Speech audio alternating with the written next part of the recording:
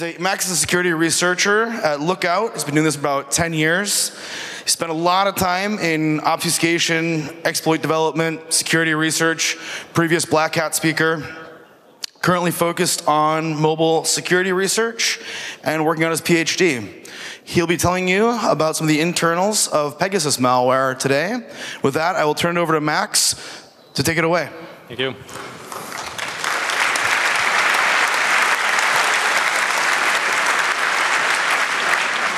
Hi, everyone. So my, my name is Max Bazaliy, and today we'll talk about the Pegasus internals. I'm from Kiev, Ukraine, currently work as a security researcher at Lookout, and last few years focused on uh, jailbreak techniques, so that's why I co-founded the Fried Apple team, where we're working on a various iOS jailbreak, including 8 and 9. So Pegasus. Pegasus is a high-quality espionage software uh, that can be used for complete surveillance of a device. It's just everything from stealing your personal data up to remotely activating a microphone or camera on a device without any indication it's really happening. So in order Pegasus to work, it needs to jailbreak a device first, because the iOS sandbox prevents application from spying on each other. So that's why Pegasus rely on a Trident exploit chain to completely own a device and install persistence that can be used on each uh, device reboot. Here's a really terrifying list of targeted apps, including even the known as most secure ones like Telegram, WhatsApp, Viber. And I'm pretty sure you can find your favorite messenger in this list. Before going into a deep technical analysis of the vulnerabilities used, I want to tell a story how we get a Pegasus sample. So please meet uh, Ahmed Mansoor, who's uh, mostly known for his job as a human rights defender. He's even a recipient of Martin Ennals Award, sometimes called the Nobel Prize for uh, Human Rights. So on August 10 this year, Ahmed received a message with the text that uh, someone in a state prison got uh, someone is imprisoned in a, in a, state prison. So, and he received another text with a similar thing the next day. But previously he was targeted by hacking team in 2012 and Gemma Fisher in 2011. So now instead of clicking on a link, he contacted Citizen Lab because he was working with those guys before. So he sent a link for Citizen Lab to analysis, and we are in, a, as a Lookout research team, we get initial sample and a link from a Citizen Lab. So in this story, I mostly will focus it about technical part of it. So in order to work, Pegasus rely on a Trident exploit chain and it uses three stages. So on the first stage, it uses memory corruption to achieve a remote code execution in a Safari context. After that, it jumps, after it is on a device, it jumps to a second stage and uses two vulnerabilities to exploit a kernel. One is used for bypass the kernel address space layout randomization, and another to achieve kernel remote uh, kernel code execution, kernel level code execution. And finally, on the third stage, it installs uh, software and uh, use a special trick to achieve on-device persistence. So I will focus on each stage more detailed. Uh, the first stage, as I say, is a single-use perfish URL that will be invalidated after a first click. It contains obfuscated JavaScript that the first thing it's doing is checking for a, a device type. Is it iPhone? Is it iPad? Is it 32 or 64-bit? And based on information about uh, device processor type, the different versions of shellcode will be downloaded, which is in a stage two. And finally, it exploits remote code execution vulnerability in a WebKit to execute the shellcode. So what vulnerability, what use it? CVE 4657, uh, remote code execution in a WebKit. Uh, basically, the vulnerability is user-free that achieve it by using two bugs. And in a sample that we got, it's not stable because it relies on a WebKit garbage collector. The problem itself lives in a MarkedArgumentBuffer that can be exploited by usage of the defined properties. So defined properties is a method that defines new or modified properties uh, directly on object. It takes a few arguments, uh, the object itself and the properties object, which can have a descriptors uh, that constitute uh, the properties to be defined or modified. It have a pretty simple algorithm contain few loops. On the very first iteration, each, each property descriptor checking for formatting, and after that get appended to a descriptors vector. And to make sure that the reference to property descriptors not become stale, they need to be protected from being garbage collected. For this uh, purpose, MarkedArgumentBuffer is used. We see at the very, very end, mark buffer append. So MarkedArgumentBuffer prevents object from being deallocated. And after each property get uh, has been validated, uh, and it's okay, the define of property associate each of the user supplied property with a target object. And here is a problem here, because it's possible when the defined property will be called, it's possible to call any user-defined JavaScript method. If in these JavaScript methods um, garbage collection can be triggered, it will deallocate any um, unmarked heap bucket object. I will go a little bit deeply in, uh, in the details. First of all, a few words about MarkedArgumentBuffer and JavaScript garbage collector. So JavaScript garbage collector responsible for deallocating an object from a memory. When they are no longer referenced, it runs at the random intervals and based it on a current memory pressure, current device types, and so on. And uh, when garbage collector checking if object should be deallocated, it walks through the stack and check for reference to an object. Uh, reference to an object also may exist on application heap, but in this case, alternate mechanism is used called the slow append. So MarkedArgumentBuffer has initial inline stack contains uh, eight values. That means when the ninth value will be added to MarkedArgumentBuffer, uh, the capacity will be expanded. It will be moved from a stack memory to a heap memory. This is what the slow append is doing. Slow append move stack from a move buffer from a stack to a heap, and now um, object not automatically protected from a garbage collection. And to make sure they will not deallocated, they need to be added to heaps marklist set. This is what we see here. So slow append trying to acquire heap context, and it can be acquired adding an object, like marking an object by adding to a marklist set. And here is a problem because uh, when the heap context can be acquired, it can be acquired for a complex object, only for a complex object. So this means for primitive types like integer, booleans, and so on, they are not heap bucket object, and they will be not marked as a marklist set. And there is a bug in the slow append, which we will call it just once. So this means when the buffer will be moved from a stack memory to a heap memory, and one of the properties will, will, be a simple type, like an integer. It will be not automatically protected by garbage collection, and all the next corresponding values will be not protected as well, because they bug to a slow append. Here we see a picture that illustrating it, and in reality, the reference to JavaScript objects still exists, but if uh, in a in a call to define a property method, any of the user supplied methods will be called, they can remove this reference and object will be deallocated. So to summarize all the information, here is how it can be exploited. So we specify an props object which contain 12 descriptors, and first nine of them values are simple types, like zeros, eights. Which mean when the P8, which is the ninth value, will be added to uh, marklist set, it will trigger the slow append and uh, buffer will be moved from a stack to a heap. And the next corresponding values, which is like length and uh, which not number and array, will be not marked by marklist set and not automatically protected by garbage collection. What happened next? When defined properties will be called on a length property, it will try to convert not number to a number, which force that users define it to string method will be called. The string method remove last two reference for an array and force the garbage collection cycle by allocating large amount of memory. Which leads that object will be deallocated by garbage collector.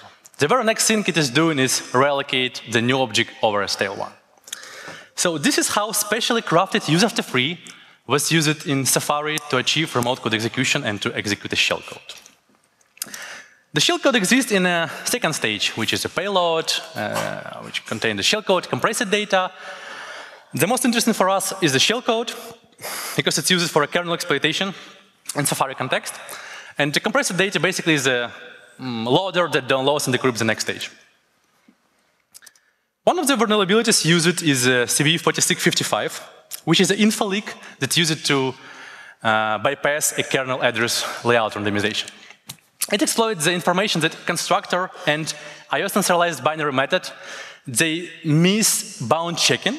So that means that attacker can create OS number object with really high number of bits and call it within the application sandbox where IORegistryEntryGetPropertyBytes. Here is how it looked like. So iOS serialized binary is a method to handle binary serialized data in a kernel. It converts a binary format to a basic kernel data object. It supports different container types, sets, dictionaries, array, object types, strings, numbers, and the point of interest is OS number. So as we see here, it passes two arguments, value and length. And there is no real check that uh, for, for length, for the length property. So this means we can control uh, the length that is passed to an object. And why it is a problem? Uh, because here is a constructor for OS number init. And as we see, the length property passes here its new number of bits. And it's override the size variable. And the problem that size is used in other uh, methods in a case that OS number number of bytes, which leads that return value of number of bytes is now fully controlled by attacker, which is real bad. Because it's used next in IORegistryEntryGetPropertyBytes, uh, which handle OS numbers, and it used number of bytes to calculate the object length, OS number length.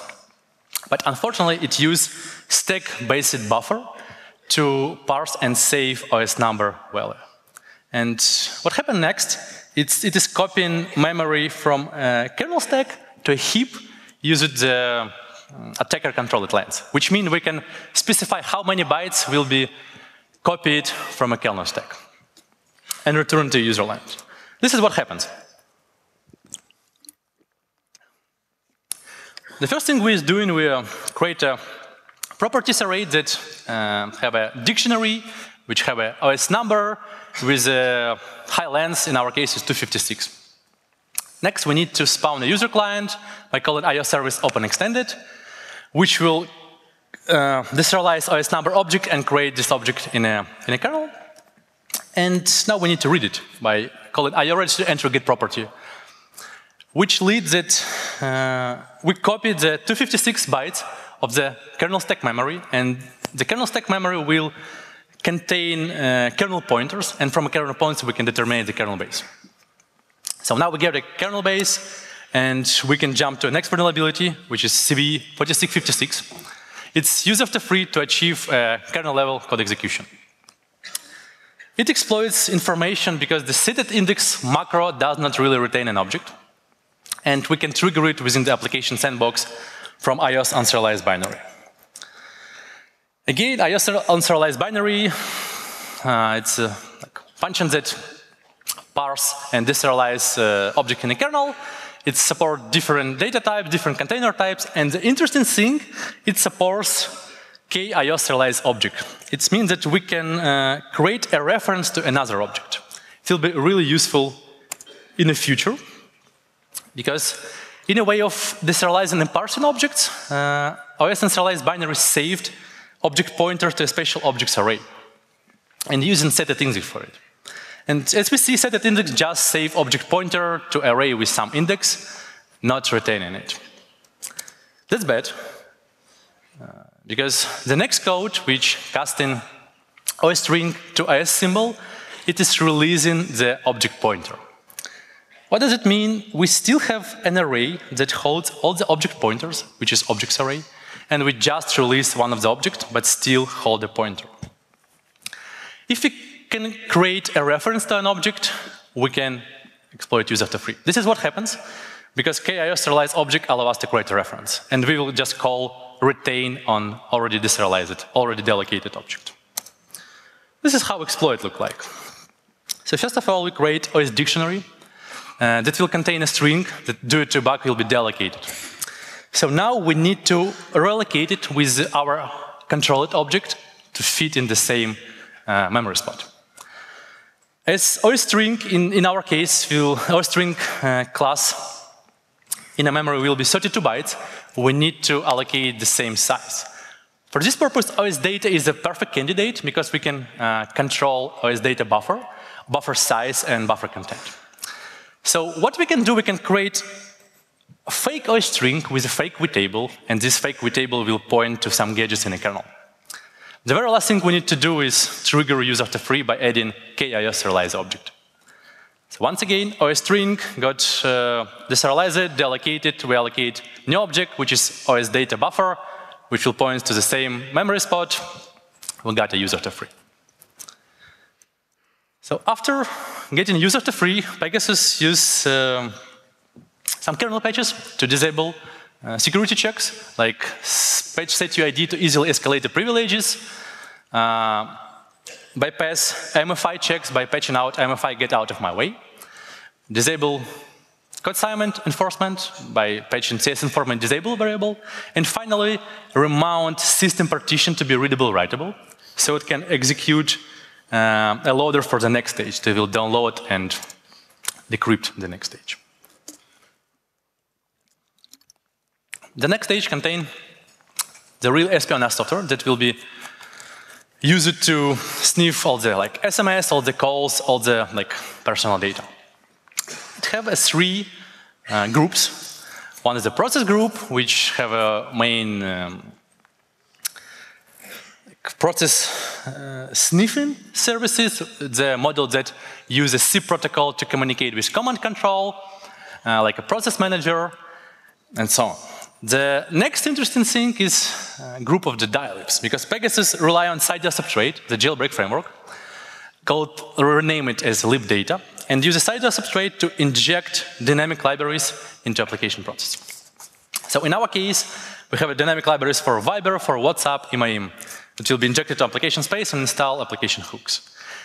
And the last thing is com apple iTunes store D file, which is a JavaScript that contain uh, code and shell code that will uh, execute, that can execute unsigned code.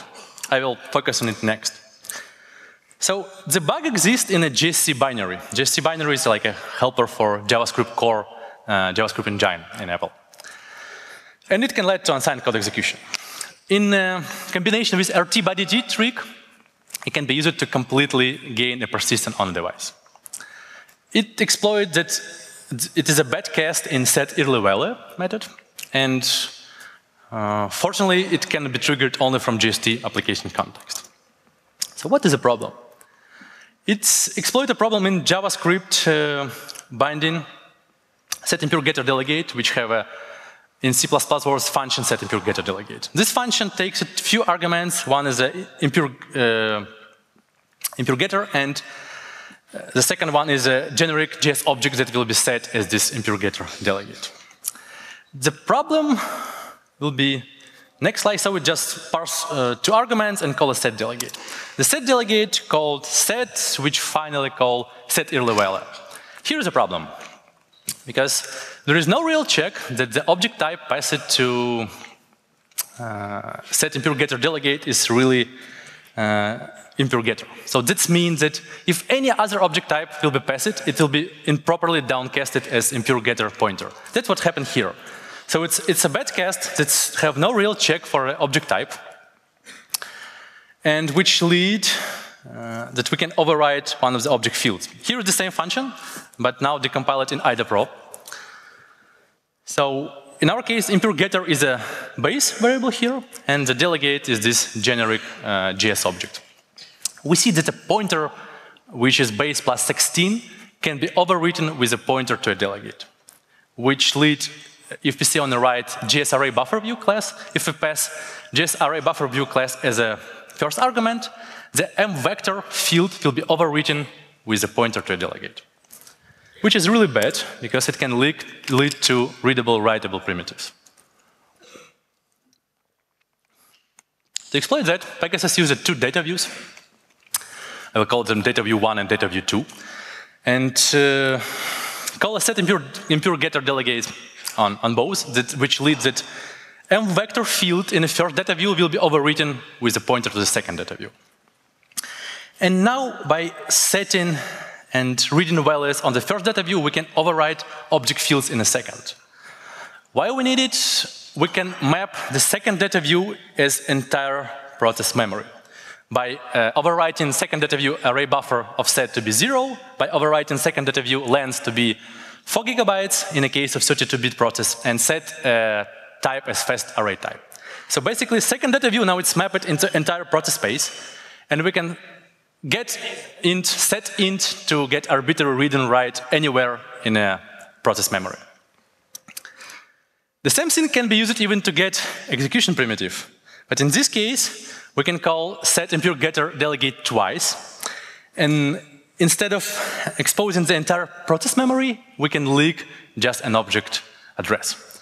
If we can leak an object address, we can create JS function that have like hundreds of try, empty try-catch uh, constructions and uh, force G to compile it. And in, a, in this process, a special readable, writable, executable memory segment will be allocated. We can leak address of this um, JIT segment, overwrite it with the shellcode, and execute.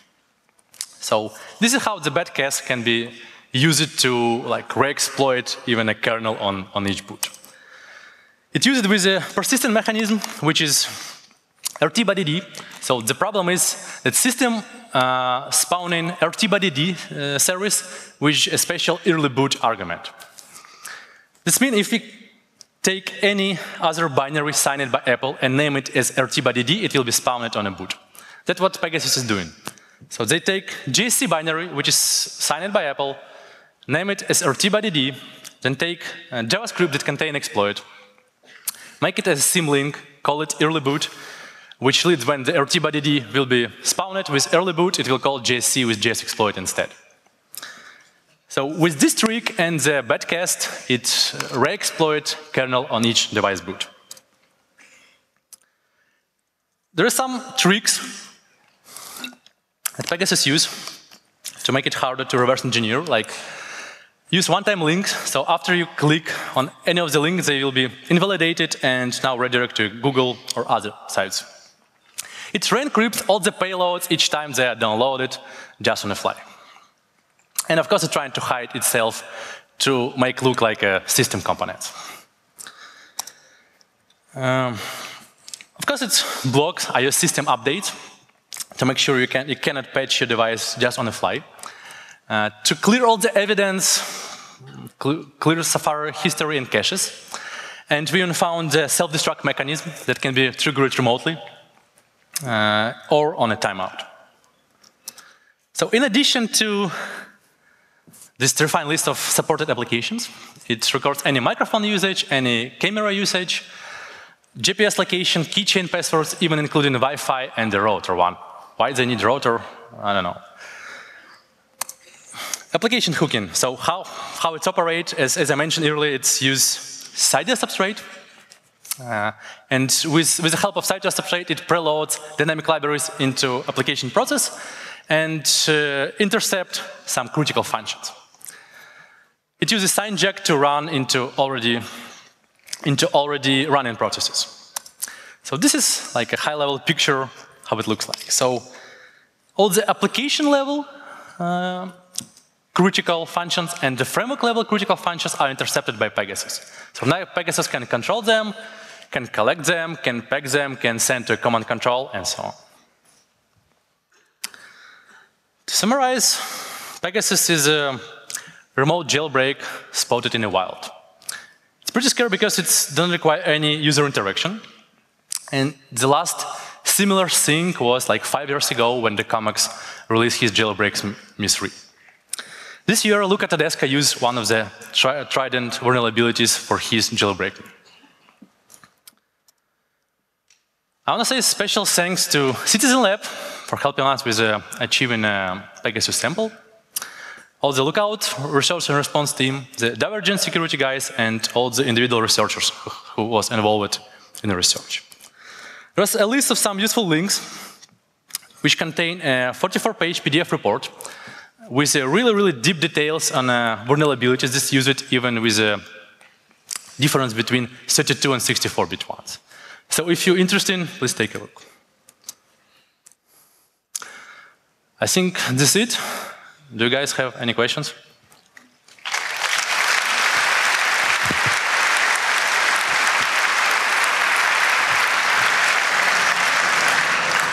Again.